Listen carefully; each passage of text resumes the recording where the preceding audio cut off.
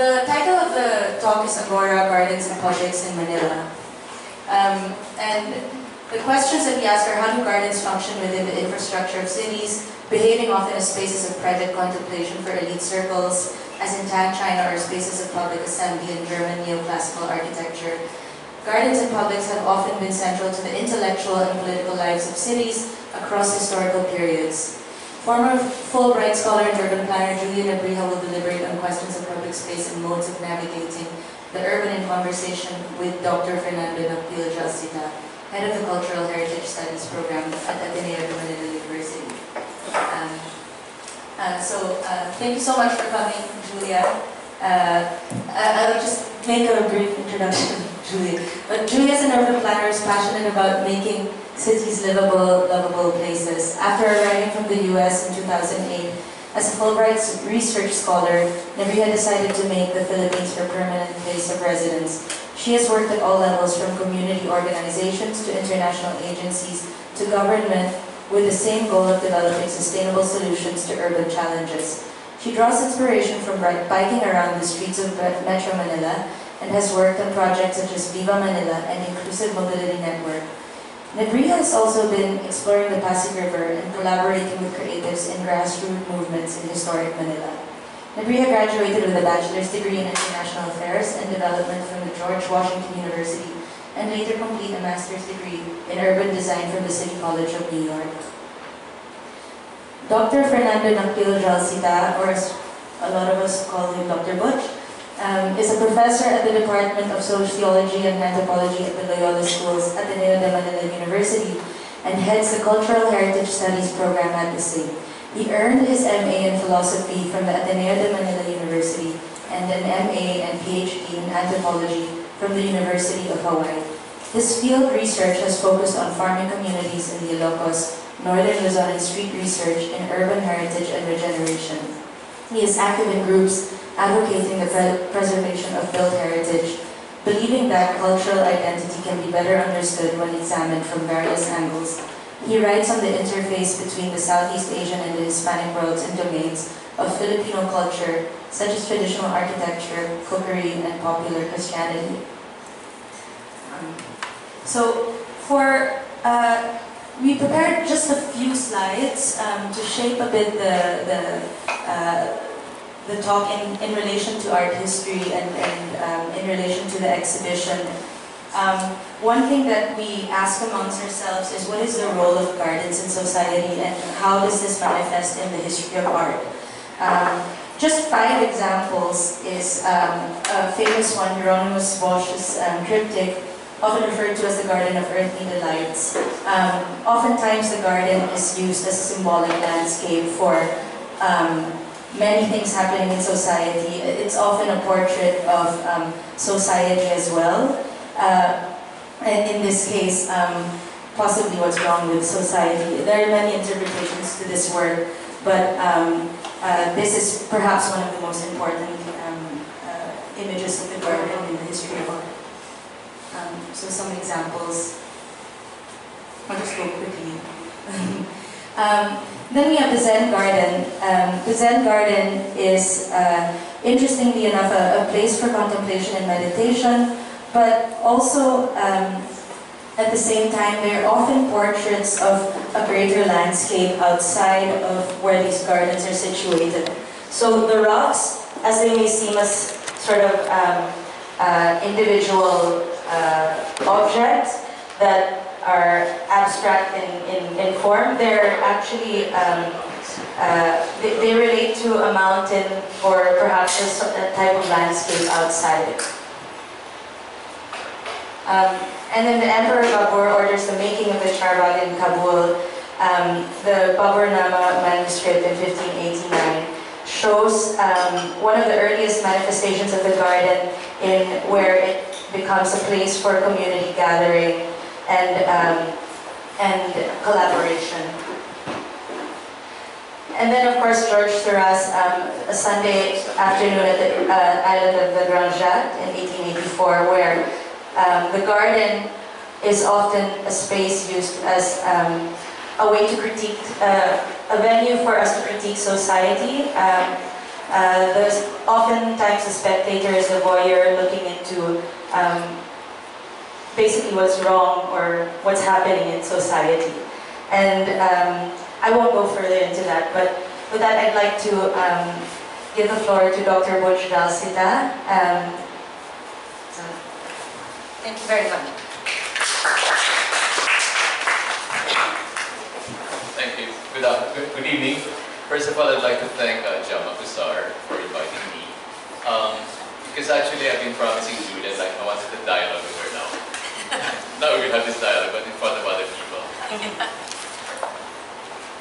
Um, I, I promise Jam I don't want to go beyond 20 minutes because there's also Julia and we still have an evening ahead of us. Um, I got interest, got interested in this because of my interest in urban. I think, I, I think uh, a big problem that we have in the city, in our cities is that we don't appreciate the street enough. So my talk will focus about the three con conflicting interpretations of the street and how, this has seemed to, le to have led to the mess that we find this street, as well as to their amplification. Uh, Say amplification? amplification. Amplification. Not beautification, amplification. Should become more and more. Um. So I think we have to distinguish between public and private space. Uh, public space is central to the city. Um, you cannot have a city that's only made of private spaces. Private spaces that concerns only particular households. Whereas public space is open to everybody. Next please.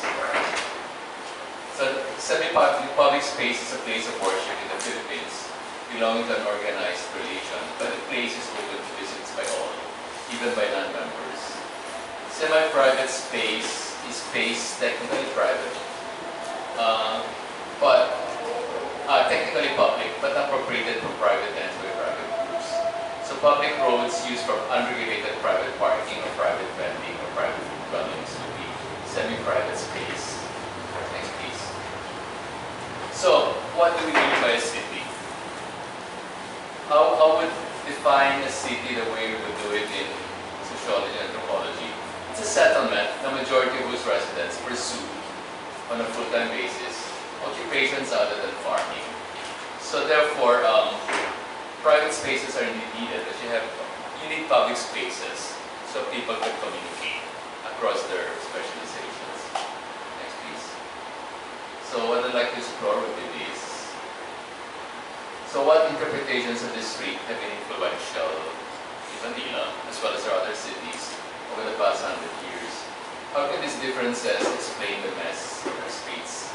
And if you want a livable city, how reconcile these interpretations? So I'm using as a case Calle Hidalgo in Quiapo, Manila. Um, actually, I, I wrote an entire book just on this uh, showing how it can be interpreted by different people involved in the area. So what I'm doing basically is just an excerpt. So this is Calle Hidalgo, the principal street of Quiapo. It connects actually two churches, the Church of San Sebastian and the Church of um, Quiapo. This is how it looked like uh, in the 1830s. Still mostly uh, houses with uh, thatch roofs. Please. However, with the opening of the, the Puente Colgante, the hanging bridge, uh, many uh, middle class and upper class uh, families started to move here because of its proximity to Malacanang. So this is how it looked like. A street lined with uh, arcades and big mansions. Um, an official guide for that year, 18, 1860 or 70, describes this as the most beautiful street in all of Manila. So this is Calle Hidalgo in the 1900s. Uh, there was a streetcar, as you can see, um, with its railways. And then at the far end is San Sebastian. It's a very spectacular view, a, a typical Renaissance vista. Next, please. So this is Calle Hidalgo. This is Calle Hidalgo now. Um, the vista has been partially still there, but it has been obscured by the trees, and then it has been messed up by the traffic. San Sebastian Basilica, which is now in the process of restoration. Next piece. On the other, on the other hand, you have Calvin Church. Next piece. Next piece. So much of this street now is, has been taken over by GPs terminals. Next. So uh, I'm suggesting that actually there are three interpretations of this street that are vying for attention in our streets. One is uh, what I call the private balconies in a public theater, that concept, which, which is actually Hispanic or Latin, whichever Latin. So, um, next piece. With the fall of the Roman Empire, um, urbanism declined in the West. So, cities in Western Europe simply became warrens of uh, crooked, uh, crisscrossing streets. However, um, during the Renaissance, the great began to appear again. So, um, the idea of the city as planned along a gridiron began to, began to surface again. And it was implemented precisely in the new cities of the Spanish Empire, in the Americas and in the Philippines. Um, however, uh, in Spain itself, eventually, um, the, the royal court realized that there was a, a tremendous advantage in having a well-planned city because this would uh, this facilitated the flow of commerce and uh, people. At the same time, it gave prestige to the, to the crown. Next piece. So a classic example of this, of course, is Plaza Mayor, which I'm sure you have seen. Um, this is a classic example because the, the balconies front of the central plaza, where in fact uh, sometimes bull, bullfights are held, as, as, well as other festivals. Next piece. Next.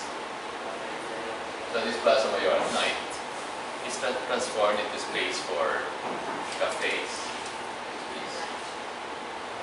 And um, I, I guess this is this is for me the, the charm of vegan, namely that the streets are used the streets are used um, as not only uh, thoroughfare but as a space where you can have public cafes in the evening. So um, the street balcony creates middle space between public, the street, and private, the dwelling. Next, please. Okay, um, this is a Campo House, Calle Hidalgo.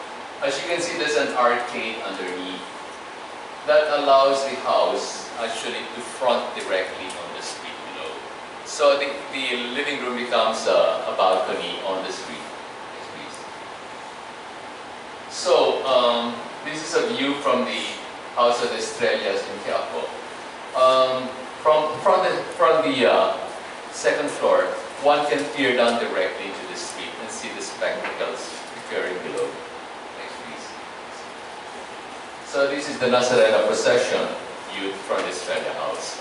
It's interesting to note, according to uh, one of the Araneta, in fact, during the late 19th century, Calle Hidalgo was also used as a race course. Um, horses would run uh, from San Sebastian to Quiapo Church and people would bet. Exactly what, what happens, for example, in Siena, northern Italian cities, where the, the central plaza becomes a, a ra- race course during the uh, fiesta. Next, please. Now, uh, another, another uh, concept of space that entered with the Americans is um, to consider the street primarily as a corridor with enclosed private spaces along it. Um, I'm not going to talk about uh, Latin influenced Southwest or Louisiana. Um, in fact, I'm not even going to talk about New York. I think I'm, I'd like to focus on LA. Next, please. The, um, in general, um, the British British urbanism um, valued, speaking of gardens, valued greenery. Um, but greenery which enclosed the house uh, away from the street. And churches in Britain uh, typically are in the middle of uh, uh, sward of greenery. The garden city is in fact a British innovation that became accepted worldwide. Next please. So this ideal in the US, a house enclosed within a garden, no matter how small, thus a uh, private dwelling is, is distanciated from public space on the street. Next please. So the suburb was invented as a controlled semi-private enclave in contrast to the public inner city. Um, now because of the emphasis on individualism and free enterprise, there was no attention paid to height and harmony of appearance among dwellings in the inner city. Um, next please. So the classic example of this, of course, is LA. Um, LA used to be connected together by uh, streetcar system, but I think uh, Ford bought all the uh, all the rails and the streetcars. The result is emphasis on private vehicle, and of course, the tremendous traffic for which LA is notorious. Next, please. Um, the impact of LA style urbanism is that uh, people began to migrate to the suburbs from the 1950s onwards. So in contrast to European cities where people prefer to live in the center, in the Philippines we prefer to live in the suburbs. And there's an emphasis on privately owned vehicles, whether cars or jeepneys, and total disregard for visual harmony. Next please. Next please. So here you are, you have cars private, uh, parked on arcades. But the arcades are supposed to be walkways for pedestrians.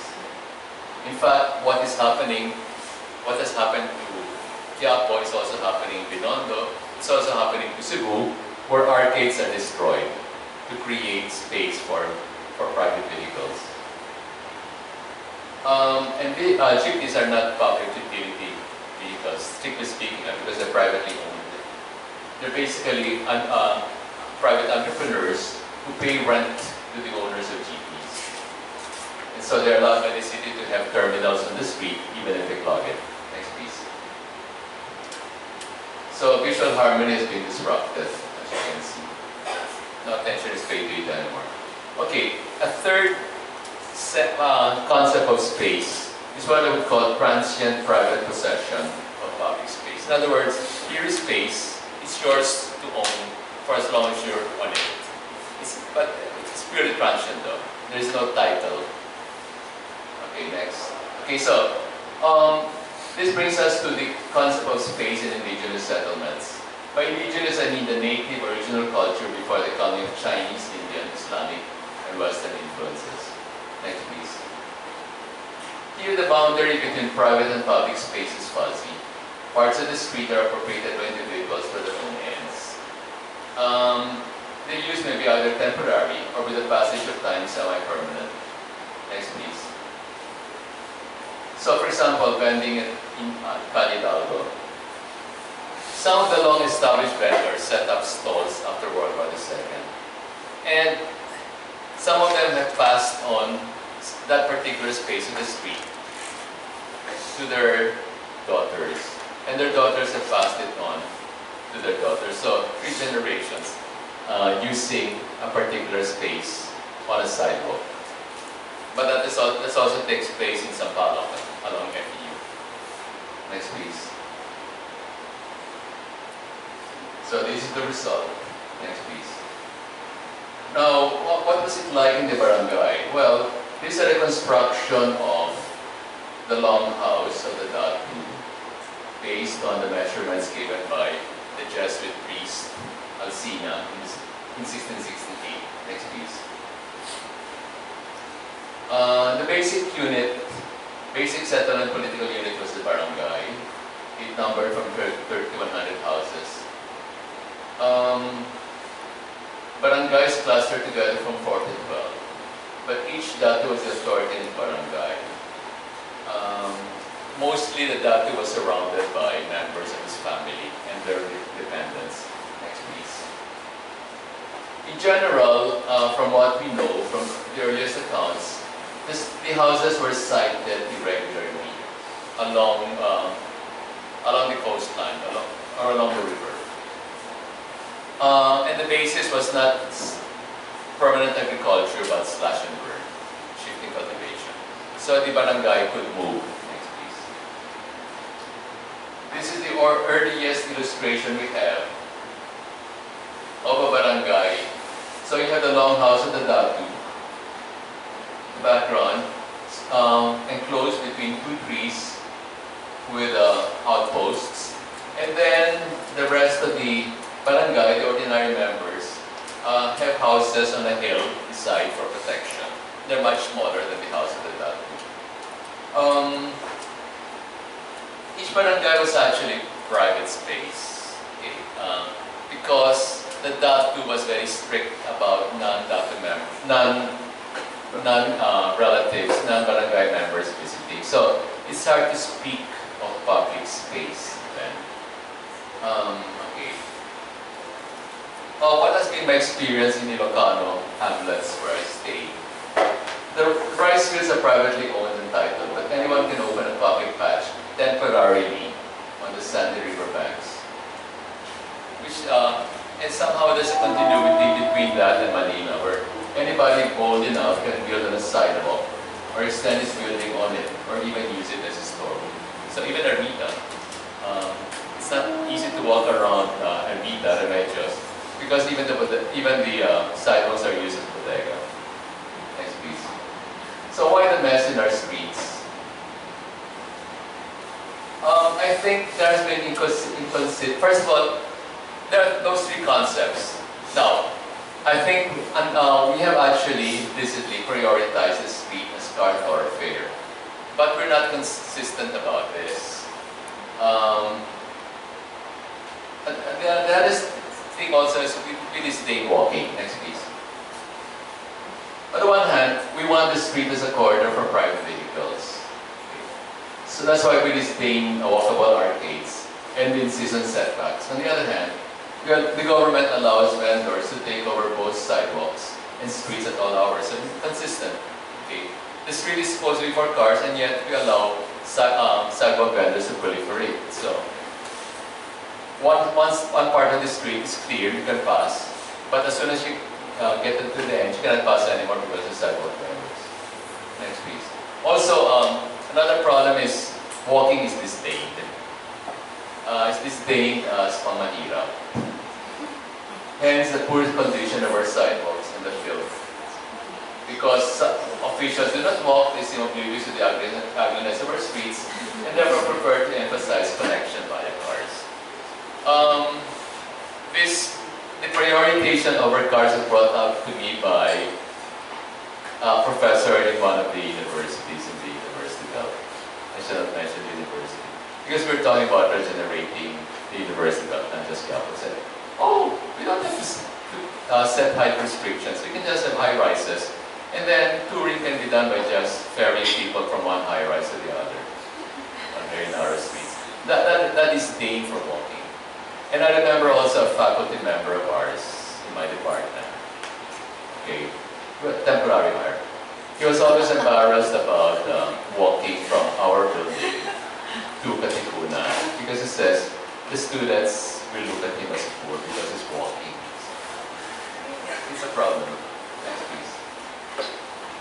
So the question I raise is, is a synthesis possible of the three urban traditions? So that's a further answer, but let's leave it at that.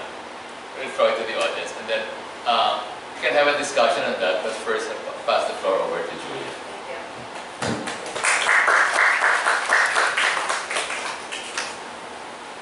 Twenty minutes. Okay. I'll be short as well. Uh, good evening, everyone. Uh, nice to see a lot of familiar faces. Thanks for braving the traffic, which I am no longer responsible for, to come to Pasong Tamo on the middle of the week at 7 p.m.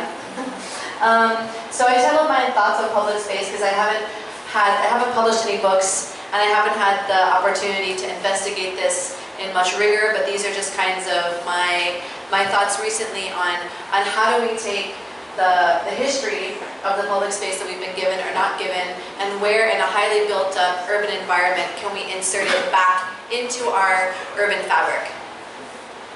So firstly, you know, why is, we know why public space is important to a lot of cities in general, but why is it specifically important to our Philippine cities today?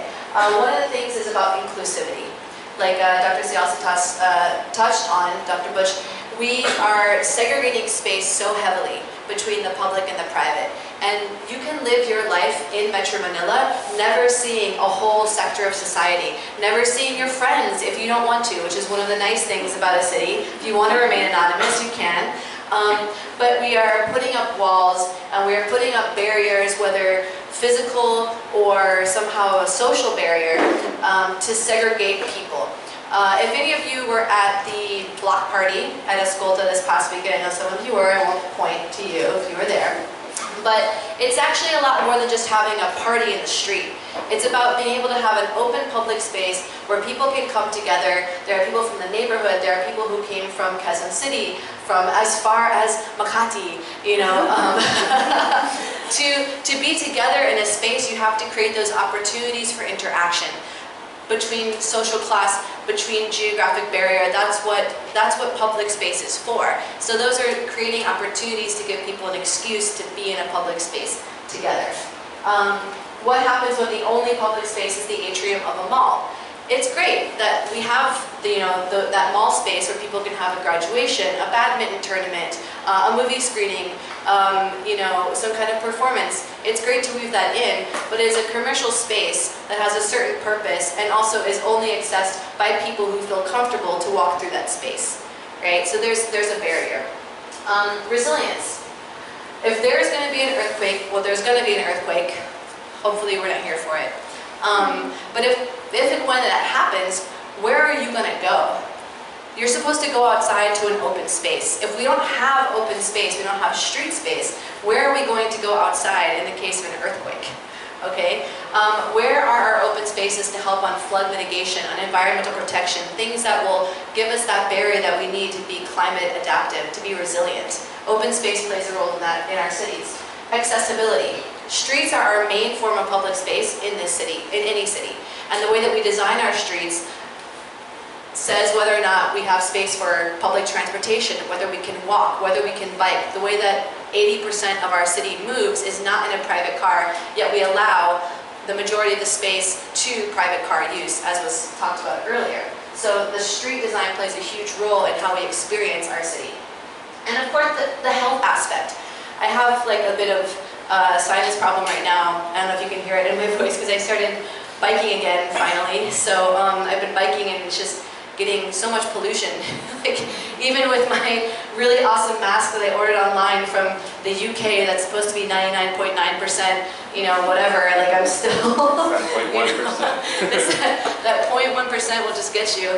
Um, but even just walking around today when I'm not wearing my face mask, I wanted to get down somewhere earlier, run some errands, and I walked here and I'm just getting the pollution to the face, you know? Uh, it, go to open space, places we can be that have greenery where we can breathe are important to our health. Um, we are, other countries, when they reach our pollution levels, close schools and don't let people go outside. And we do it every single day, all the time. So that's why I think um, even if we can't, it's not top of mind, although I see it being more in newspapers, I see it being more on Facebook, people asking where are our spaces to breathe in the city. Uh, it's not top of mind in a way, but I think it relates to a lot of other issues that are top of mind. Next.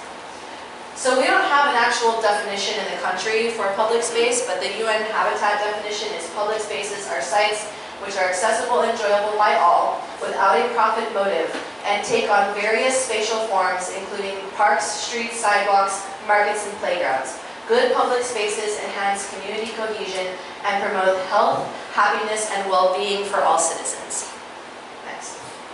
Um, I've tried to see, you know, in comparison to, this is just green space, so that doesn't cover all of the, the street space and the other plazas and parks. I mean, we'll, it, might, it will cover parks, but um, the estimate that we have based on a, I think it's a 2015 study, uh, is five square meters of green space per citizen in Metro Manila. Um, that might be plus or minus, uh, we don't know. But the, the average that uh, the World Health Organization recommends is a minimum of nine square meters uh, per person. Um, as you can see, Vienna is at 120, but Tokyo is only at 3. But the thing is that this is only a amount per person. That doesn't mean that three meters per square person in Tokyo is more accessible to a wider population. Great, we have Ekomesa Park, but how many of you have been there because you have to drive there on Commonwealth to get there, right? So you know, it's also about how you have access and how that is distributed. So there's another figure that WHO says that every urban citizen should live within a 15-minute walk to green open space. So it's not just the amount, but it's also the accessibility to how it's woven into our daily lives. Next. Um, so I talked about we have to revolutionize, you know, the opportunities for us now today. We are not going to demolish, as far as I know, big tracts of land and uh, a built-up area to create a central park. So how are we, you know, some of the other cities outside of Metro Manila, some of the emerging cities will have that opportunity to plan now and plan well, and they might be able to get those bigger spaces. But especially in somewhere like Metro Manila, our big opportunity is to revolutionize street design. We can reclaim those spaces, um, get the parked cars off the street, get them off the sidewalk, and try to weave back those open spaces into the existing network that we have. Next.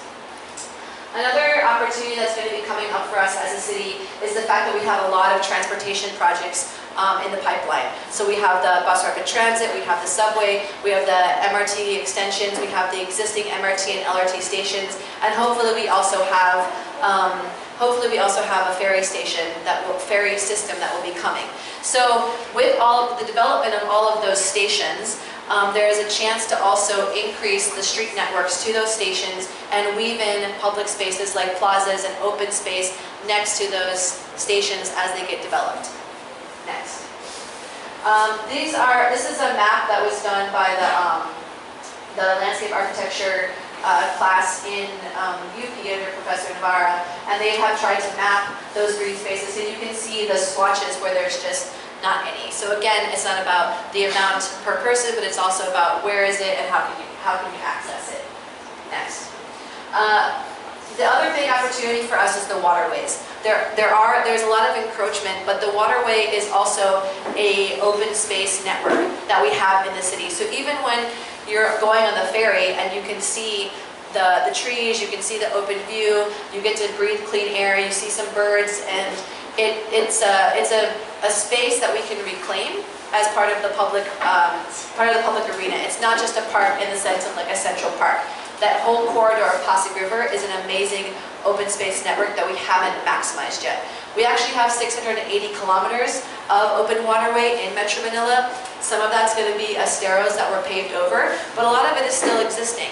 Some of it has encroachments, and we do have to figure out the housing situation but that's something that we have to do anyways because they're in a danger zone. So these are new opportunities, 680 kilometers of open waterways in Metro Manila. So some examples that I like, um, Calle Crisologo was, uh, was mentioned in, uh, in. Um, some, uh, you know, that's a pedestrian street. It was only a matter of designating it as car-free and the retail in that area has improved. It is now a tourism destination and people go there specifically because they know they're going to be able to walk around and browse on that street and see something different and not be bothered by the pollution and the chaos that cars cause. Um, a proposed project was this, um, I took this example, it's from the DOTR, the Capitolio, uh, East Capitolio Street, on how do you start to redesign existing street spaces. And then um, an international example would be something like the, the Ramblas in Barcelona, where you start to create corridors. And now they're doing the super blocks in Barcelona, where they close off um, the three by three blocks to create these whole new network of pedestrian areas where no cars are allowed in the residential areas and they can only use the major streets on the outside. So again, very minimal investment in a way because all you're doing is reclaiming and redesignating use. It's not like you have to build a whole new system, you're not building a highway, you're not building a subway system. You're just saying this nine blocks are going to be for people. Next. Parks. Um, this upper example here is the is Taguig uh, TLC Park. It's a small park in, um, in the city of Taguig across from Laguna Bay. Uh, the city decided to designate that public land as a park and they actually allocate money every year for programming, for landscape, um, and people can use it on, on the weekends um, during the week and it's a great spot. Uh, something that we could do is turn that golf course around Intramuros into a park. Um, how many people use it as a golf course versus how many people would use it for a park. And you can even make more money with weaving in commercial establishments, booking fees for revenue. I, I think we can make more money off of it as a park than as a golf course. Um, as well as it being a major, that is actually a designated evacuation site for the city of Manila. Because where are you going to go when you have an emergency? Where else is there open space? It's Rizal Park and it's the golf course. Uh, an example that I like is the South Park in San Francisco because they were able to just, again, use like the middle of the street and redesignate that space into a park. So it doesn't have to be this big central park. Everyone's going to wait for a central park that's not coming. Um, let's just figure out where we can start to insert it back into the city. Next. Uh, plazas. Plazas are a big part of our urban history. Um, it's one of the open spaces that we inherited during the Spanish period, and a lot of them still exist. Uh, in Angeles City, Heritage Plaza, one way that they just improved it was to underground all the cables. So the view line is actually preserved. And then they did basic investments with the uh, Meralco poles that they took out of the area. They transformed them into benches and other street furniture. So that was kind of interesting. Um, an opportunity for, for a new type of plaza is this example from Carriedo um, in, in city of Manila connecting Santa Cruz Church to Escolta. So again, an urban design exercise of extending the sidewalk, creating a new plaza that gives an entrance to the church, connects it to the street of Escolta. These are interventions that are, you know, you're, you're just basically taking a little, you're just moving the curb, essentially. Um, an example, international example of a plaza that I love are the water plazas in Rotterdam, which have now been adopted in the Netherlands, in China, in Brazil. It's essentially a, a public space that is sunken. So it can be a basketball court, it can be a soccer field, it can be a performance space, and when it rains, it fills up with water and then becomes a pond. And then eventually, then the rainwater can be collected, it can be used for, for landscaping, and um, when I was, I saw the mayor of Copenhagen last month when I went to the Netherlands for a bicycle conference, and I was asking him, like, you know, you're so known for biking. Like, has that been the legacy of your, he was in two terms, this is his last term. I said, what will be like, you know, the, the major issue of your, of your term that will define kind of your two terms as mayor of Copenhagen? And he said, you know, it wasn't actually biking, it was surface water treatment. It was putting in interventions like this to capture water and weave it into public space because they had a storm that destroyed public property or and private property in Copenhagen and they never want to have that happen again. So they're investing in like stormwater management and in stormwater capture like this, weaving it into public space. Next. And then lastly, it's waterfront. So we have examples like the Iloilo Esplanade, uh, 1.2 kilometers of, of waterfront that was reclaimed. The land value in that area was between two to 3,000 pesos per, per square meter. And after they made this investment, which is about 170 million pesos, to, to build this esplanade, the land value went up to 15 to 20,000 pesos per square meter. That's a 600% increase. So not only is it good for the public, but if the government wants to make back money as well, the revenue on the land value is also a good return. Um, this is a project I have been proposing before with MMDA to reclaim and create greenways around the Libertad pumping station. And then this one down here is the Chicago River Walk, which I like as an example because a lot of people think that cities are already like, oh, Chicago's, you know, already has a great identity. Chicago's already like popular and doing well, but there's always room for improvement and so many cities, this was only built two years ago in Chicago. And I have relatives who live there and they're like, why was this never done before? It's an amazing public space that now so many people go and enjoy when they were already going downtown before. So New York as well, reclaiming their waterfront when it had been highways for so long. Paris, you know, places that we think that are already done, that are already doing well. There's always a, another opportunity. It's a journey, you know? Uh, next. So that's kind of, I didn't realize how my face was that picture. Anyways, um, so I think uh, those are kind of the opportunities for public space that, I, that we can identify to weave that back into the city. But my big question and what I want to talk to Dr. Butch about after I finish this is, but what kind of public space are we going to build? Because he talked about, we went through the Spanish period and public space was a plaza. The plaza and the street is a form of control. All of, after basically the early barangay and the datu, every form of urbanism that we inherited was either the Spanish or the American, and it's about taming the savages. That's what, it was part of manifest destiny. It's part of giving us a sense of control. So where do we start to find what a Filipino sense of public space use would be. And what I've, I've been able to see a lot of examples as I bike around Metro Manila. I don't think I would have learned that sitting in a car. I've learned it by being out walking and by biking. So these are some of the things that I've seen. Next. Um, the way that we announce a barangay, there's a certain visual language to a barangay, and one of them is the entrance. So you'll see that every barangay has its own type of way of announcing itself through like an arch of some way. You know, so where did that come from? And, and it's so interesting, like, even if they can't afford it, they'll have, you know, like the Fiesta leftovers, bottles, paper cutouts. I see a lot of broken CDs. You know, if you're wondering what happened with the CDs that you threw away, they are now part of a barangay entrance somewhere in Metro Manila. Next. Uh, banderitas. Yes, a plastic waste or a plastic reuse, we don't know. But um, they announce the space and let people know that this is a street that's special for some reason. Next. Um, the barangay hall. Maybe we have to accept once and for all that a barangay hall is going to need to be somewhere and maybe we have to weave that into the comprehensive land use plan or something because they're just sticking them where they can stick them, right? Uh, usually on a sidewalk, that's a little kind of treehouse type of one. Um, this one has a basketball court and the, the, land at the same time. So we maybe need, that needs to be a key part of the, the urban language of a Philippine neighborhood is the barangay hall. Next. Um, processions and expressions. Uh, this is in Poblacion. The first three pictures are in Poblacion um, during the um, Visita Iglesia, the Seven Stations of the Cross, where they actually put in and close down the streets and put in these like theater setups in around Poblacion and people walk around and visit them.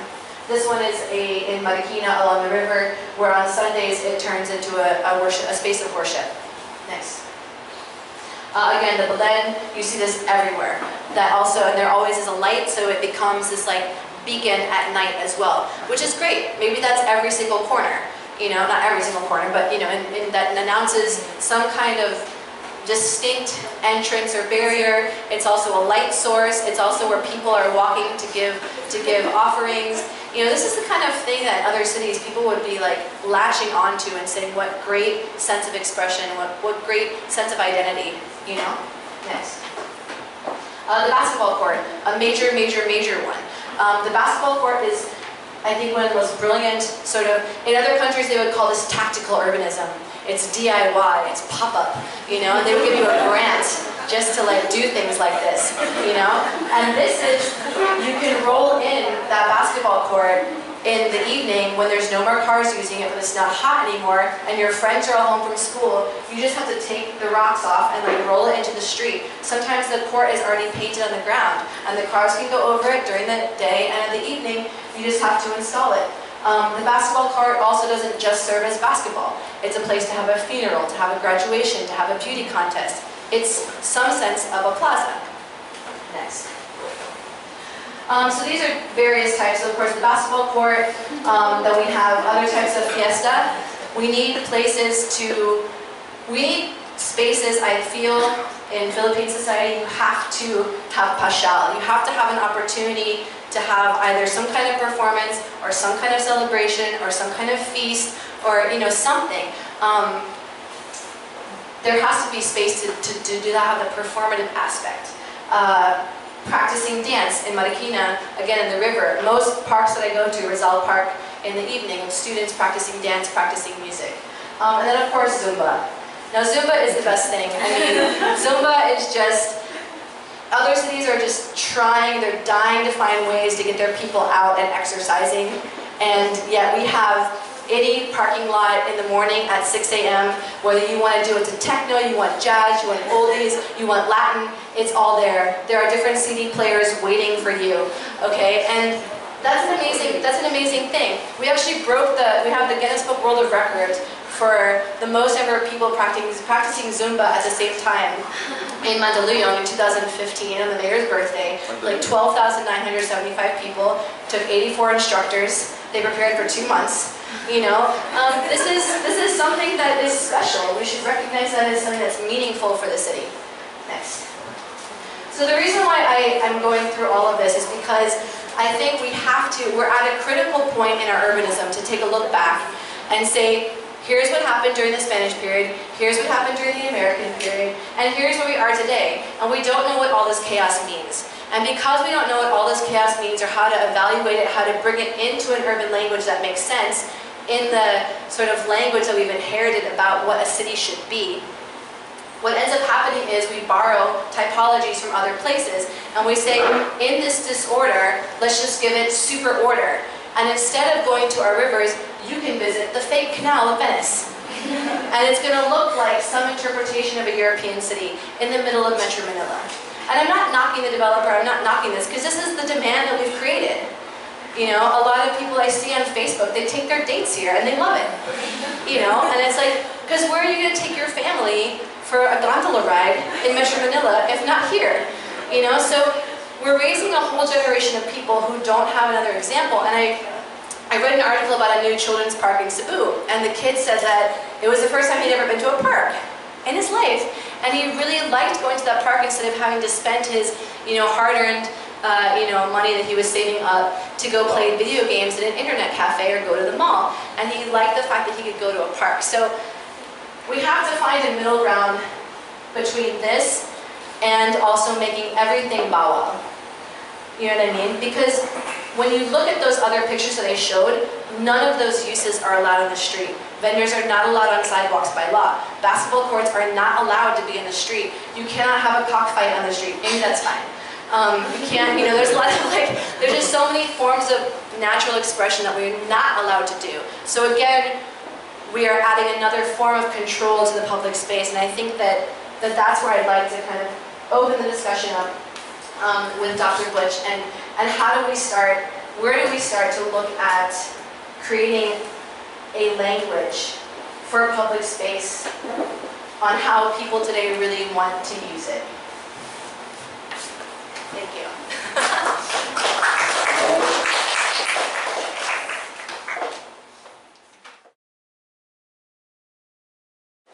Maybe they can just ask Dr.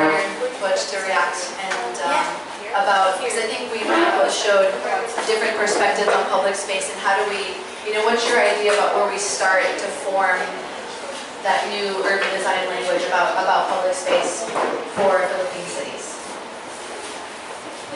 Yeah, well actually, um, I, I threw this question on possible synthesis.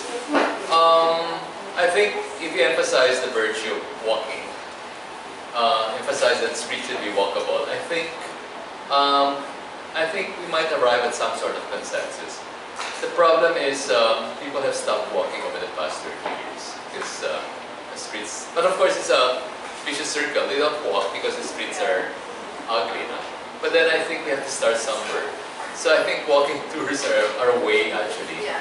to, to awaken people to the wonders of exploring a city on foot even if the city is unkempt, dirty, etc., it still is interesting to explore the city on foot.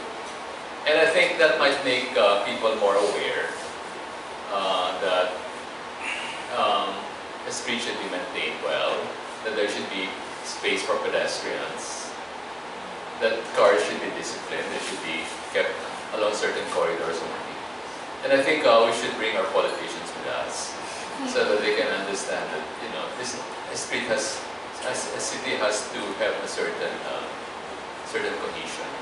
Now, um, I'm excited about what Julia said about yes, we should allow certain things that, that are bawal.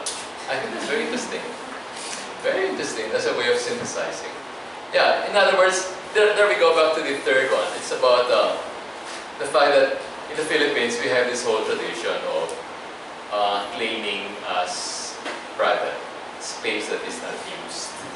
But this is a very interesting mutation because, yeah, okay, so you have, in, in Makati, for example, Poblacion, uh, they, are, they raise their Calvario during uh, Holy Week. There are about 50, 50 shrines that they raise. Okay, each is supported by a, a group. Mayor Binay is one of those, is a member of one of those groups.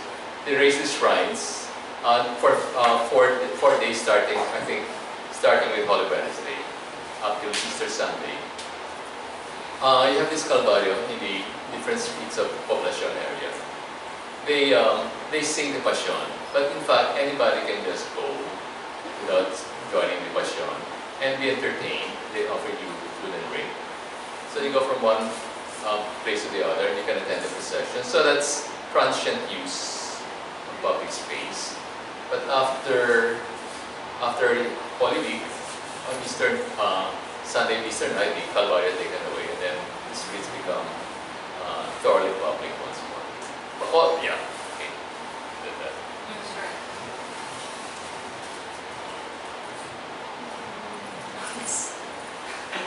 Hi, um, yeah.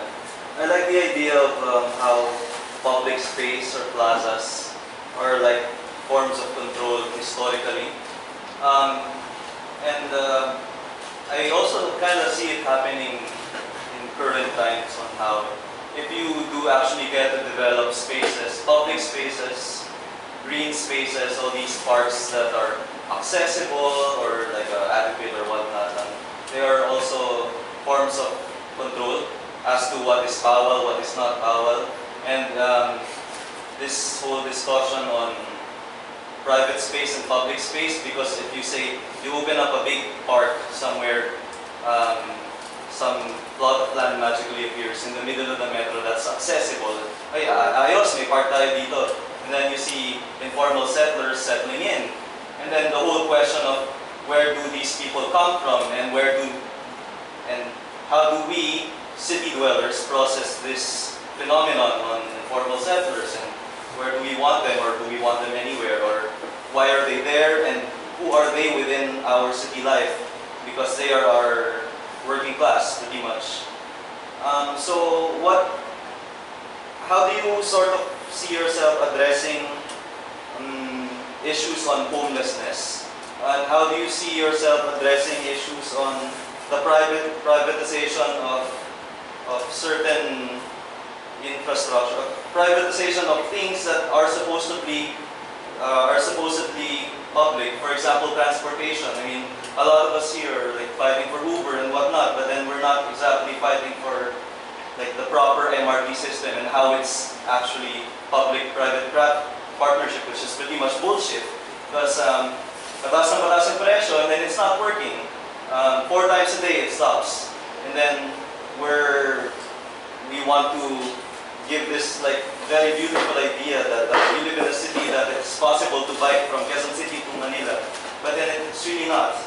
Um, how do we see ourselves talking about the rampant development of uh, commercial and residential high-rises, wherein um, it actually affects and contributes to the congestion of city, of urban spaces. For example, I grew up in Pasig, and then there is Capitol Commons, and then, oh yeah, there's a park, but then all of a sudden there is this big building in what used to be just the sky, and just, I can see it from where I grew up. And then in the next few years, that whole skyline will be nothing because it's all going to be buildings. Capitol Commons, the MCI, it's everywhere. And then traffic is really bad. I don't know how it is like two decades ago, but then now I don't know. Because when I was in school, I used to live in Pasig, studying in QC. I used to commute every day, but now it seems impossible.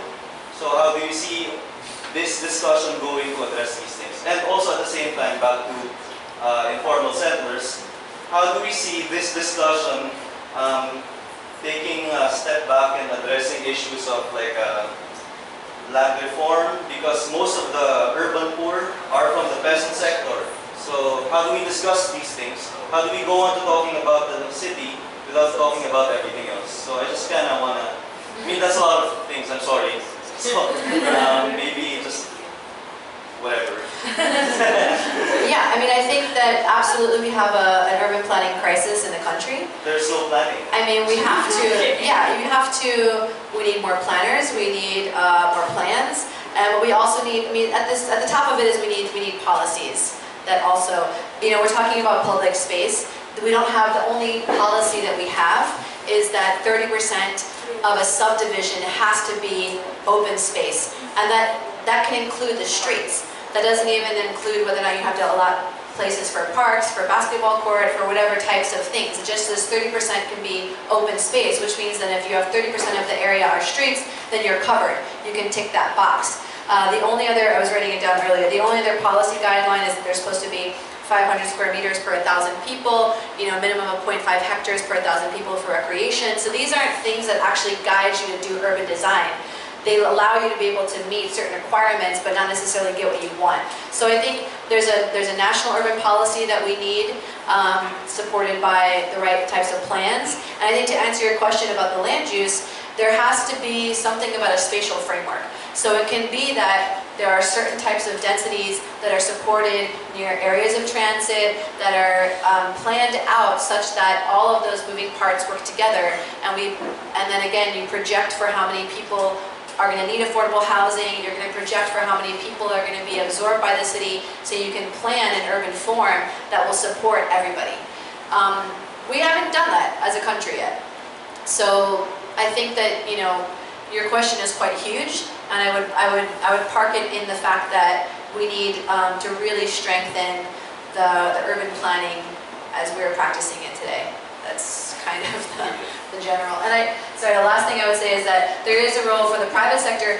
You know, if um, just because it's a public land, there's also many, uh, there are many examples of a public space being managed in partnership with a private entity that helps to generate revenues that are needed to maintain a space. Bryant Park in New York is a very good example of that, where it's a public land, but it's co-managed by a private sector that creates, that's able to bring it into its next levels, if that makes sense. Thank you, Julia. Oh, um, that's a very large question. It's I don't know where to start. But I was just uh, thinking.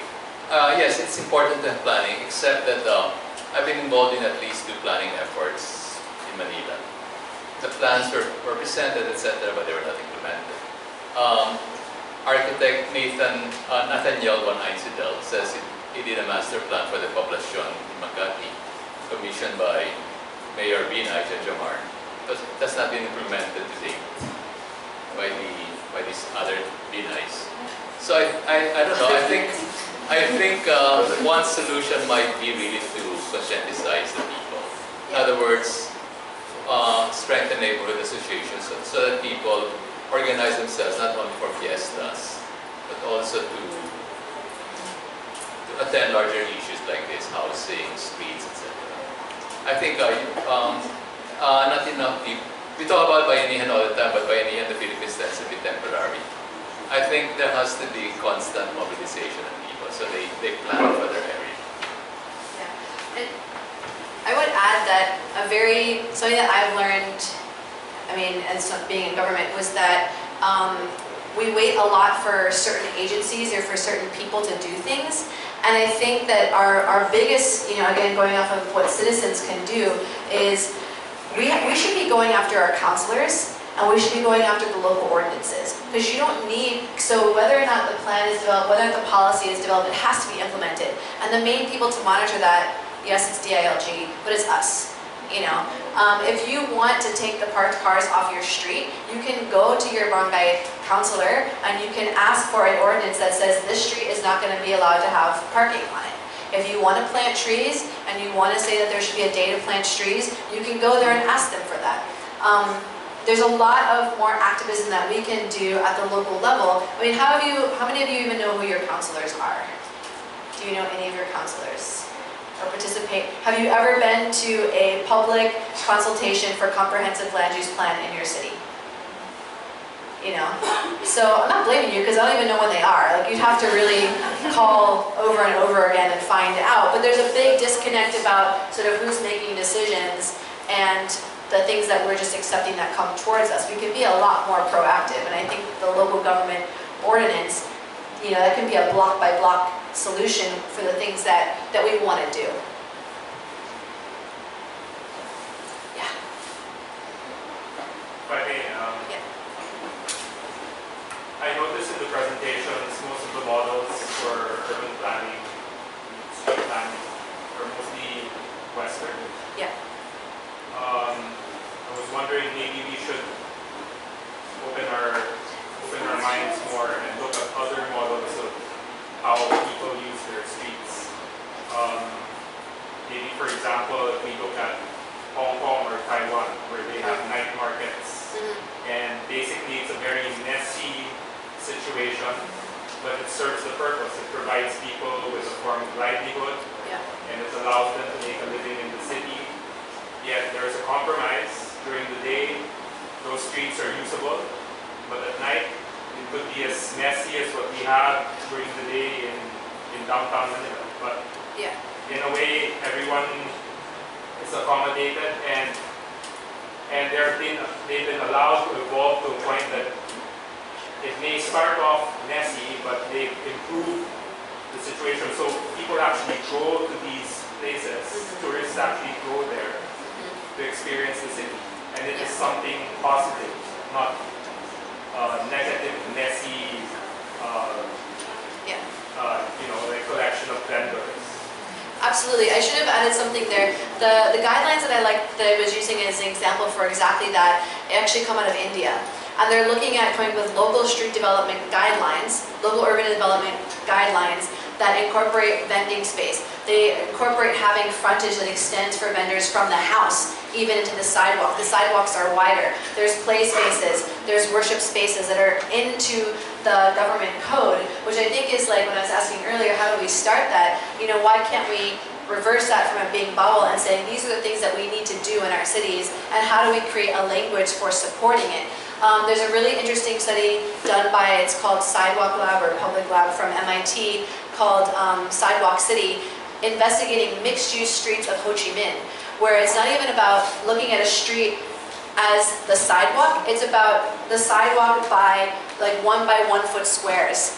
And these three, these three squares from 5 a.m. to 7 a.m. is like noodle vendor. And then by 7 a.m. to 9 a.m., like eight squares is like baskets. And then like from this time to this time, and it's it's not even anymore looking at a street and a sidewalk as the corridor. It's looking at how do you appropriate blocks of an area over the entire span of 24 hours of a day and how do you create regulations and even give permits for like two by two for two hours and then like five by six for three hours. You know, the concept of a mixed use sidewalk is what Asia is. And I think that you're absolutely correct. We have to develop a totally new language, I think, for, for dealing with that and for, and for designing within that. Yeah, I, I wanted to add to that. My experience in Indonesia, and to a certain extent Malaysia, it, but Indonesia especially, I noticed that during the street, uh, in for example Yogyakarta, uh, during the daytime, the, this, this uh, sidewalks of the main streets are empty. However, after six, that's when people start setting up their stalls, their cafes, uh, their vending shops. I, I think we should do that, do that here because I think the street should be clear during the daytime to, to uh, emphasize the primacy of public space for everybody. But at, at night, then uh, the spa- uh, spaces in the street can be used for uh, shops and, and cafes. That, that would be a compromise.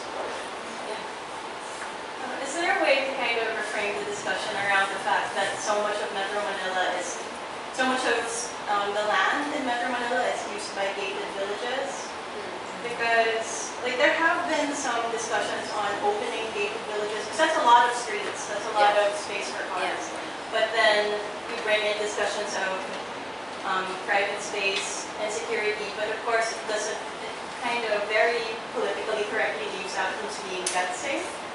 So could maybe, how could the discussion be framed around that, like transferring discussions of blight to these very manicured, very heavily controlled, but also very surveilled areas? Um, we have within the policy rights of the Constitution to take back that space. So it can be done. Um, but I don't see that being one of the wins that we're gonna be able to have anytime soon, to be totally honest. I just, I don't, I don't, I don't see it. I think maybe under the traffic argument, there might be some, we might see it, for instance, like the Las Piñas, um, uh, friendship routes where you can get like um, a pass to go with your bike through the different subdivisions. I, we've been in discussion about that. I, I've had discussions like that before with Quezon City. Um, you know, there's there's certain things, but it's going to be very regulated. I mean, it's going to be very regulated. I don't I don't actually know, but I, I don't see that being what they love to call a low hanging fruit. I, but I don't know what like yes. Yeah, May I comment on that? In fact, one of my nightmares is seeing the spread of Haven and Place rather than. Um, what's wonderful about Philippine towns is that there's still a lot of space represented by the plus number, people congregate, whether rich or poor. But what's happening now is that gated enclaves are appearing, and that will tend to make the gated enclave the colonies that are sharply divided from the rest of the inner city. That is my fear. Uh, that will also create the, another barrier between rich and poor. But it's happening now. I mean, many uh, municipalities consider themselves progressive once they start having gated enclaves. Um, now, but why are there gated enclaves? I think it's the problem is a vicious circle. Um, in our area, for, I, I, I live, for example, in a gated uh, subdivision. Originally, when we moved there, uh, 50s, uh, there were there were actually no no gates to the subdivision. The, the streets are open, except that because of the uh, uh, laxity of the local government, uh, there were informal settlements that began to spring up in the streets. So it made passage poss- impossible, and also it made it uh, in- uh, risky. So uh, as a result, the, the neighbors in our place decided to, to put up barricades to, to protect the uh, to protect um, our subdivision. And I think that's happening everywhere. It has to do also with the fact that local governments tend to be weak. In other words, uh, they count on votes. They, um, unfortunately, after, I noticed after World War II, there was this. Uh, okay, so finally, uh, o- o- officers became elected, and how do how did mayors expect to stay in office? They would rely on the votes of uh, incoming migrants. Without that, so the, they, would allow poor people to, to build up to build their houses any, everywhere. At the same time, there was no program for social housing. So I think that so that I think that is one explanation. In other words, um, migrants flowed into the city. Uh, land was expensive, um, so they were allowed to build their houses anywhere else. On the, uh, on the condition, however, that they would vote for the uh, party in power. At the same time, the party in power had no plans for improving the city, no plans for social housing. So I, I think the problem has gotten worse. I would say one way to maybe go about it though is not to, it's, I think it's gonna be one of those things we can't tackle head on and say, here's what we're gonna do, now we're gonna open this up and everything's gonna be public. I think one of the ways with the younger generation is to get them out of those gated areas and invite them into other spaces to appreciate it. I mean, that's kind of what we've tried to do with some things, like in Intramuros, for instance, is like create a reason why people should come to the other walled city, to the old walled city, but get people to like walk around, get people to, I'm gonna be doing a tour of Poblacion with like Titas of Rockwell. Um, just, you know, and you can't discriminate the opposite way also, right? Like you can't be like, oh, like Mayamans are not gonna, you know, engage or something, but you have to, I think it goes both ways, and we need to, we need to find ways for people to understand why it's important, and I think the only way to do that, I can show data till I'm like, you know, on the floor. I can tell why it works in all the other cities in the world where everybody has visited and loves, but then says we can't do it here. We have to show examples of why it's important, and people have to have to experience it for themselves. So I think that's why it's it's really important a lot of these citizen movements that are happening that create opportunities for people to actually experience the city and try to understand it. The only place I've been going to Tondo for for years. I take jeepneys, I take tricycles. The only time I've ever had a cell phone stolen was during Fête de la Musique in a paid venue in a venue with a security guard that was at the door. You know? So, I mean, you know, knock on wood, not like, but, you know, I think it creates more fear the more walls that we put up. And, it, and that creates more myth about the other side. And we have to create some way to bring that barrier down, but I don't think it's going to be something that we do head on. It's going to be like all the ways around it. Yeah.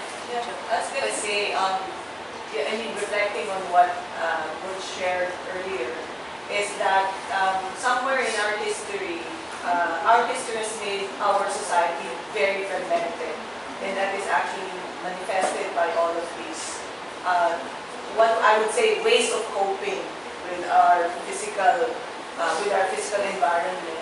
In the same way that they're saying that squatters' colonies are actually solutions, actually they're housing solutions of the poor.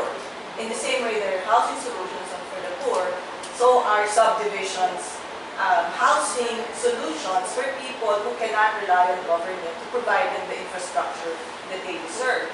And I can understand, I mean, I've never lived, although I work for a company that does gated subdivisions, I've never lived in a gated subdivision myself. And what I've seen is that the difference between the two is that um, a gated subdivision has infrastructure which is maintained. And you now understand why they don't want to open it up, because they pay for that infrastructure. Yeah. And you can understand that. So that's why you're right. It's not something that we can uh, eh, collide with head on. Um, but I completely agree that people should be able to go out.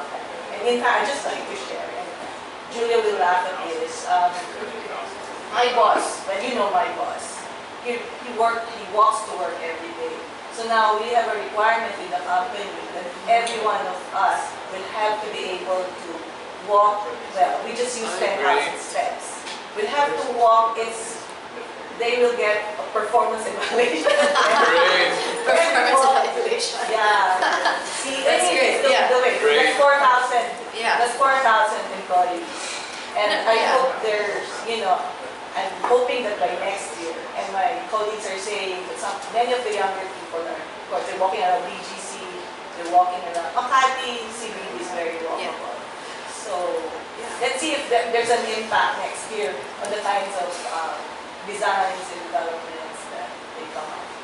Yeah, I think, you know, being able to do the thing is like, is the thing, you know, but I, like, I live now in Rockwell. I never thought that would happen to me in a million years. But I think if I had come back and started in Rockwell, I would have never experienced, like, I think that I go, because I lived in Malate, because I had a different life and I would go ride my bike and do other things, like, now I knew that that's possible, but at the same time, this last nine months when I was required to take a car and a driver around everywhere, my behavior changed so quickly the other direction. It happened so fast, and I was like, it was a good lesson for me because I'm always spouting out all these things, but I also realized how difficult it is to get out of your bubble when you've been doing that for so long. Your behavior change happens so quickly. It can also change back again. Like now I'm biking again, and you know, within two weeks of being in a car, I was like, how could I bike to Manila? That's so far.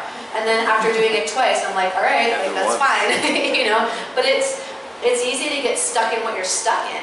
And um, and I don't know. I grew up in a I grew up in a compound in Saudi Arabia. Um, so I grew up in like the gatedest of gated villages that you could that you can grow up in, and I've seen it, you know, firsthand of, of what that separation creates. You know, and it's and it's not it's not positive. so we have to graduate out of it at some point, I think. Let me add two things about um, about streets before um, and um, about walking outside of the Ateneo. Okay, about streets before, I don't want to idealize, but uh, what I gather is that uh, Calle Hidalgo, for example, where you have you had Araneta, Legarda, Zaragoza's living before on the street. It was actually a street where you all had rich, middle class, and poor families together. So um, from time to time during fiesta season, uh, houses were at, um, at open doors, and neighbors were invited to partake of communal feast. So I think, in, in a sense, uh, there was more mixing together.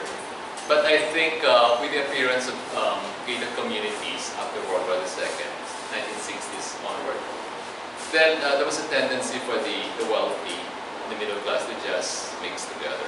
In fact, there's even a tendency for the super wealthy to just mix together, even with, with the middle class. So, um, in a sense, class barriers have sharpened over the past 50 years. Um, that, um, architects Ramon Zaragoza was telling me that, okay, so he grew up in Hidalgo. What he misses in Quezon City is this, during the, fiesta of the Normal, Quezon City, Yes, they celebrate within their family compound, but they cannot go from one house to the other, which was not the, which is which was not the case in Quiapo, which is not the case in Quiapo still today, because you can actually go from one neighbor's house to the other. This open house. It's not possible, in Quezon City. So he misses that sense of uh, community that you find in older parts of. And uh, another thing about walkability, I'm glad Julia brought up the fact that uh, uh, they make it a policy in their company to have people walk.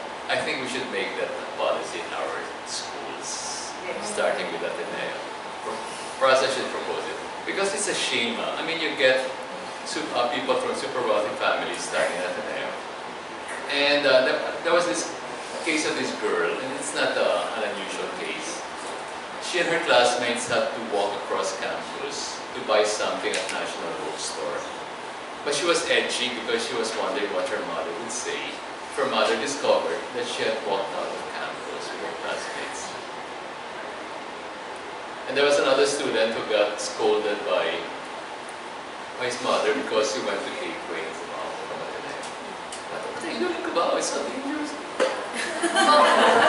And I think, you know, a lot of the things that I have done, I have, I have done them, and then people will ask me on Facebook, like, I want my daughter to bike to school, like, do you think it's safe? And I'm kind of like, I mean, not really, you know? Like, I don't want to also create a false image about the things that you are, like, you know, I'm, and I think that there's a lot that we haven't discussed, like, we're talking about class, but there's also gender. There's also, you know, your age, if you're a child or you're an old person, and what's that, what are we designing the city like for someone who's eight and for someone who's 80? You know, how are we designing it for women or not designing it for women most of the time? Um, if I were, if, you know, when I hopefully become a mother, um, you know, will I, would I go back to living in Malate and trying to walk around the streets of Malate with a stroller? I mean, versus Rockwell, like, let's be honest, you know, it's not that easy. So I think, I, I do, sometimes I get criticized for romanticizing the situation. I say, you know, it's just, it's just me and my perspective and how I live my life. But that will also change as we move along. And the city should be able to, should be able to accommodate, you know, anybody from eight till 80, any gender, any class. Um, and a, and a great street will touch all those points, which is why there is so much emphasis right now in the urban development, in the urban design um, world about focusing on that, on that public space as the thing that will weave us all together and be able to accommodate a lot of different people. But, but I think we're really far from that here. And so I just want to, I mean, maybe just one thing to wrap up. I would actually like to ask the audience, you know, who do you know? Um, because this is this is a conversation. This is an ongoing conversation. Like, what are other great examples of you that you see of people doing something that are good examples of either championing for public space, artists who are exploring those issues, writers? Who are the people that you are kind of influenced by or looking towards that are, or even you yourself, the ideas that you have, whatever you're working on, that are kind of part of this conversation. I'm, I'm curious to also learn from, from people in the audience if anyone wants to share something.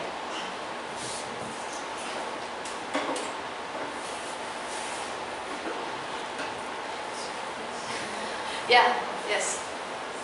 Hi, um, I'm a student at CSB, and a few years ago we launched, we launched this project called Beta Movie. It's a platform about supporting street vendors within the Taft, South CSB area. Because uh, what we noticed is a lot of vendors, a lot of people usually buy uh, food from the vendors there, but the vendors there, uh, what call that?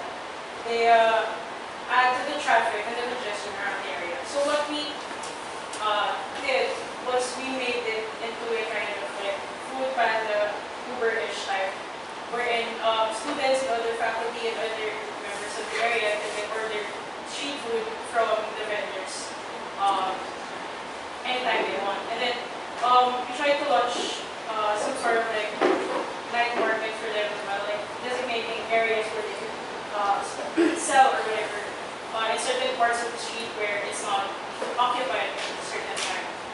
But um, I'm not sure now as to what happened to the project because it kind of ended when um, other people wanted to uh, move out of the project. But it was mainly focused on this thing that they call the school design thinking, where ar- architects or like um, MMA students and other industrial design students collaborated with people from the community, you know, to actually know what they wanted or what the community wanted. So uh, it's just an example of what we tried to do, but I'm not sure if it like if it had potential to, or if it could materialize in the future. Great, I think it's a great example. yeah, round of applause. um, when I asked the question earlier about how we, like, where do we start with trying to find a new language, I think, you know, design thinking is a good example in terms of it should start with a conversation that incorporates a lot of voices. It should be a collaboration. A city is the most collaborative manifestation that we have as a society, you know, as being human beings. Um, so it's always going to be about trying to come with that vision together. I think design thinking is a great example of how to get that started. Right, you mentioned a while ago about Bryant Park in New York, right? Yeah. It's a public land that's managed privately. Yeah. Um, is it more from, is it, because I think uh, in more recent news, you have the Sarah's Park is also in the same situation. And so I was wondering, was there actually an economically viable way, maybe even on a smaller scale? Because you also mentioned how there are a lot of, um, that you're, we're not going to have a Central Park type of thing for sure. And one of the guys a while ago mentioned that um, big tracts of land, the government ends up selling it anyway. Yeah. So, but then there are pockets of uh, places within cities that exist that can be converted into open spaces, not just in the uh, basketball court type of way, but then um, let's say like maybe along the the Pasig by by Makati, where you see little bits of parks that are, that are being have been renovated to include open spaces already, but that's still managed by the government. So, a private uh, point of view, would it be possible where there could be an economically viable way that they can actually make small steps, I guess, but then to convert um, existing open spaces into something that they can make a movement to start uh, creating these, whether it's a park similar to, I don't know how Bryant uh, manages to Yeah. stay I mean. Bryant Park could have been built up into high rises. The land is valuable enough in the middle of New York City to have built on it. But, you know, what happened was that the land values, because there's that open space which is coveted, not everyone can live near Central Park, and Central Park is a, a place that people want to be. Not everyone can live near Bryant Park. It's a place people want to be. So the land values go up. So you still make a ton of money off of having this open space. You know, I think that's one of the things that we have to we have to look at. Um, and then secondly, the definitely. I mean, every time you hold a concert in a park, you look where Lollapalooza is held. It's held in Millennium Park in Chicago. They make a ton of money back on the park from having renting that space. Um, commercial establishments that pay high rent to be able to sell you ice cream as you walk through that park, ten dollar ice cream, you know, like so. So it's definitely um, open space, like the example from Iloilo. I mean, I think uh, it's it's it's if we can, you know, Arroceros is it's under the city of Manila, and it's the CSR project of the Winner Foundation. So it's more of like a CSR type of adopt a park type of thing.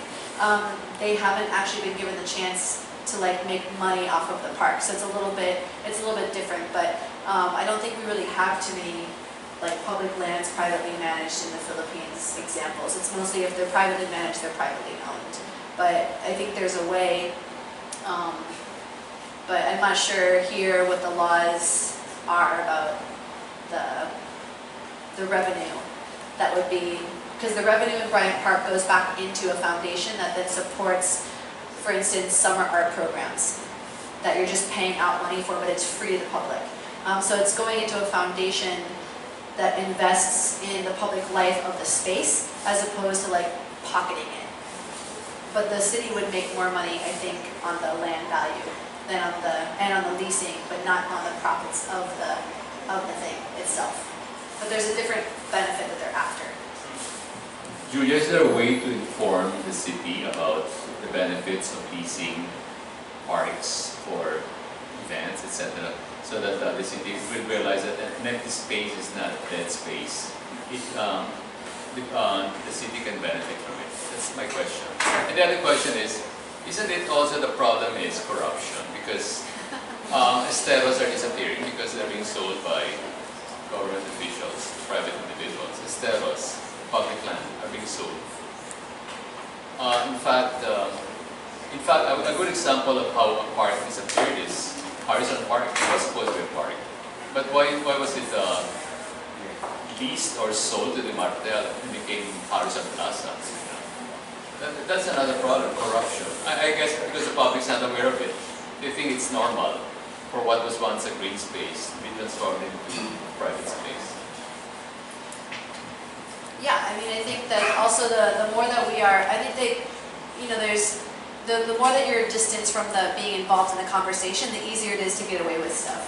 So like we, yeah, we weren't at the community, at the council meeting where they decided to turn over this, like to change the zonal value, the zonal, um, you know, of the land from a public land to a private or something like that. You know, like we weren't, we weren't in the room. We should be in the room. We should figure out ways to, to, to be, to be in the room. But um, for the the public spaces, one of the areas, it's not just the Esteros, but all waterfront land.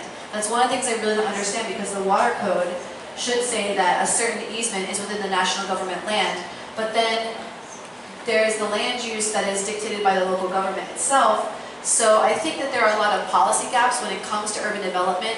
We're still treating cities like a series of like borough instead of saying this is a metropolitan area. And there are things that are multi-jurisdictional that need to be maybe land banked, like no one wants to say that word.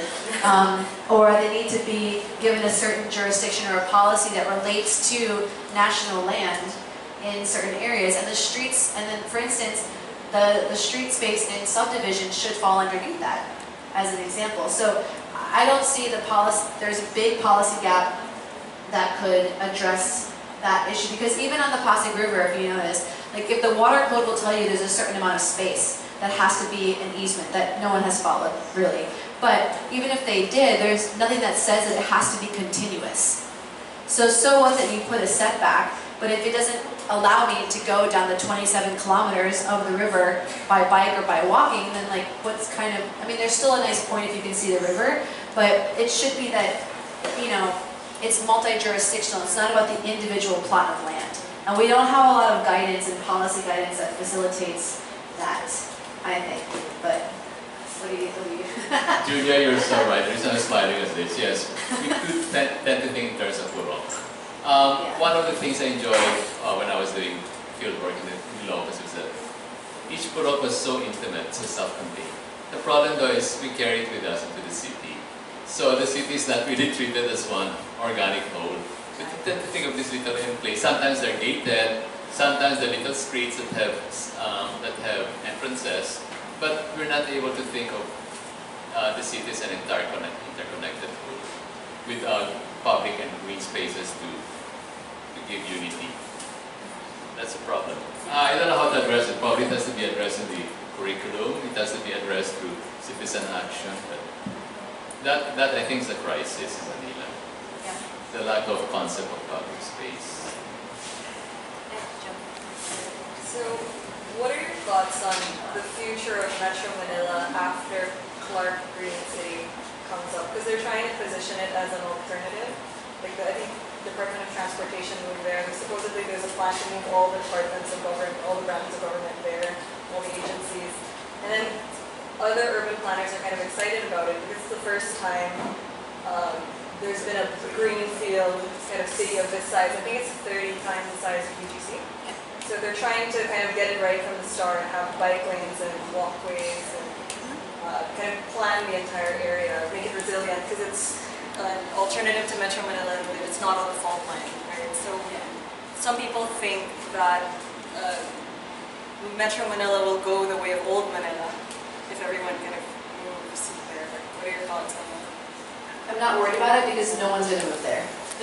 I mean, it's a great project to do because we should be preparing cities for future generations that aren't just Metro Manila. We should be investing in the secondary cities. You know, Cebu, uh, Metro Manila is 10 times larger than Cebu or something, right? It's like 1.2 million in Cebu or something. So it's, we have to invest in the secondary cities. We have to make those viable options that the only, you know, place to make it is to come to Metro Manila. You have to be able to create those secondary cities. Clark, um, new Clark City, I believe it's now renamed, will be something for that for the future. It will be the Metro Manila of future generations, and we should invest in that. And it's great that the master plan is going to be such that we don't repeat the mistakes that we made in Metro Manila.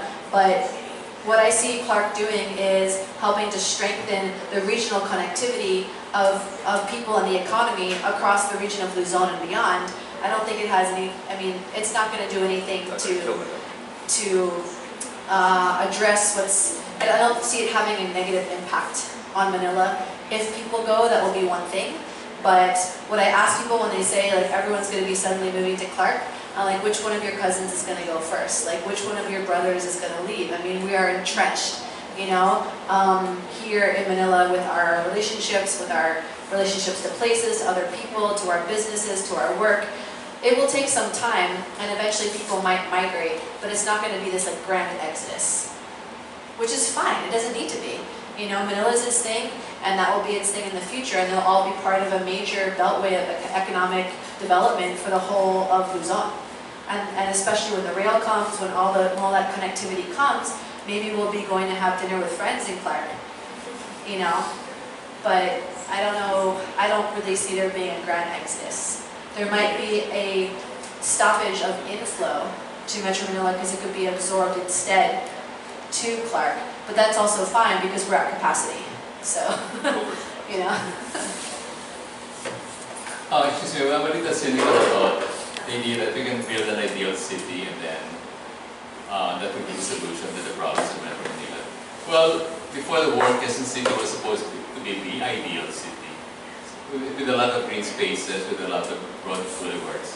What happened, you know? I mean, what happened to the green spaces in Quezon City? They disappeared, uh, they've been disappearing because of the, the fact that city officials do not think in terms of the common good they've allowed the uh, green spaces to be swallowed up by private developers. So I'm skeptical about these plans for Clark. I think we have to change mindsets. It, uh, we, we carry a certain mindset that's really dangerous because we keep thinking there's a little pro. We carry it with us all the time.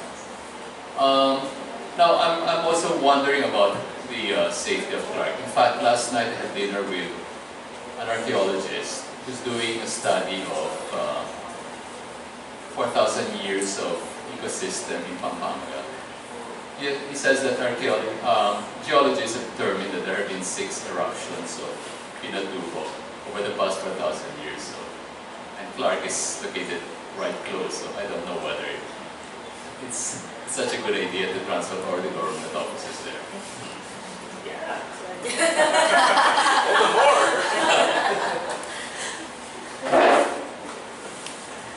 Before we end, if someone could just tell me their favorite public space in Metro Manila. That's a good question. Just curious. yeah. I, uh, I'd like say Bonifacio High Street. Uh, at some point, before uh, uh, it's also used as my uh, by my mentor as a case study for in my design class back in college. Uh, he mentioned that High Street eventually diminished class at some point because, uh, as you can see, based on the layout, the gig area, uh, covers side, the and then uh, Serendra high end, there's, High Street, and then there's BGC. So uh, it's very it's a very linear representation of how uh, how class eventually uh, converged into one public space. That is a very effective and uh, that is not really intimidating. Uh, actually, I observed it firsthand in the first few years of high school, uh, where back then they allowed people to actually loiter around even uh, on the grass right now, it's not not, not much of a, uh, an amenity as a open space. But I think I'd like to commend the space as actually one of the most effective public spaces that we, we've had in the recent uh, years, in the past few years. Because uh, I think one of the greatest uh, really indicators of a public space functioning really well is that it equalizes class uh, or, or diminishes the class system that we have.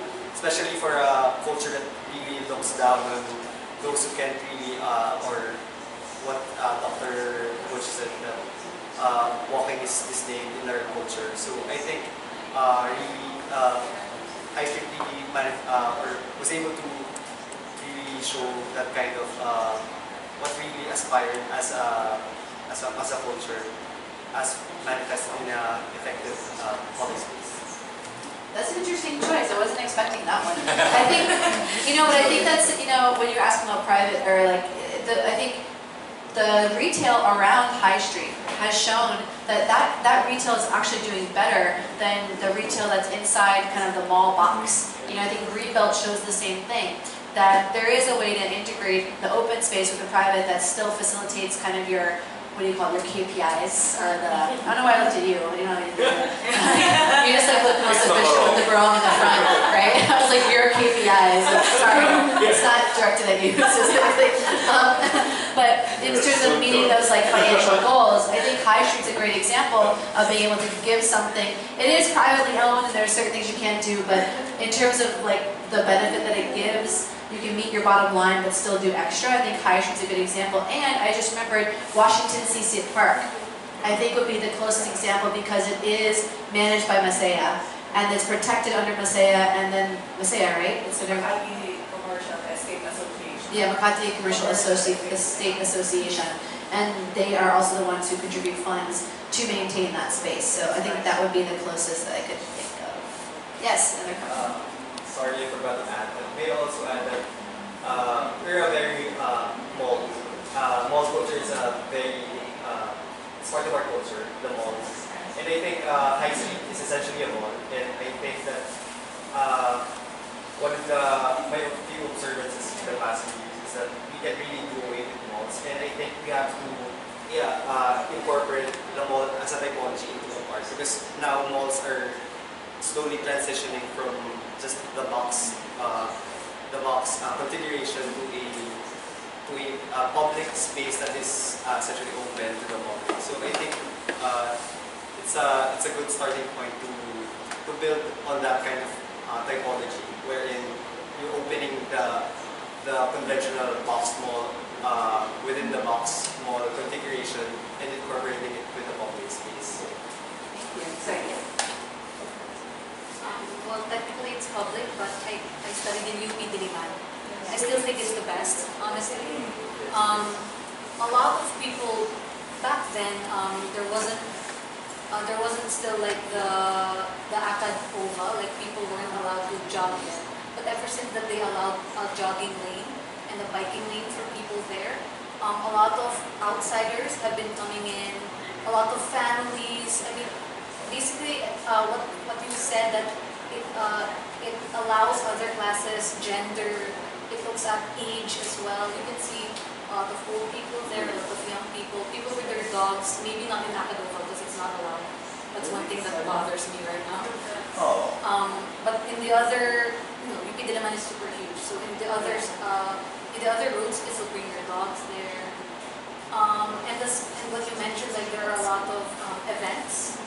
So you can utilize the space for a lot of concerts, a lot of like exhibitions. There have been a lot of uh, places there where there are sculptures, installations, and so it's it's still secure. It's still seen as secure. So that's a lot of issue.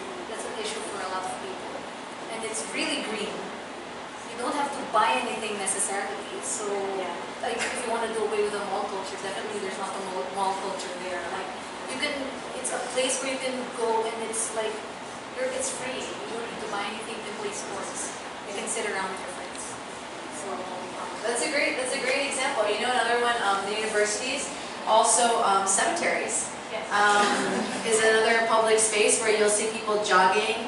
Um, you know, I mean, they're not going to mind; they're already gone, right? Like, so you can jog around and everything. Uh, I think cemeteries is an interesting space that's also can be considered that that is actually marked in a lot of uh, comprehensive land use plans as public.